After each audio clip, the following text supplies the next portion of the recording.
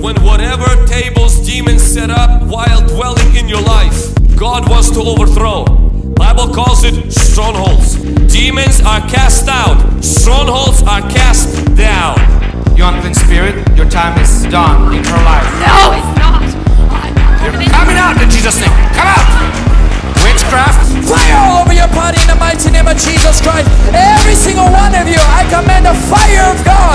Church, begin to open up your lips. Begin to command the fire of God all over her body. The problem is this is we normalize what God wants to neutralize. We need to defund demonic.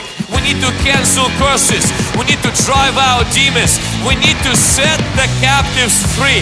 It's time to deliver the demonized instead of demonize those who are doing deliverance.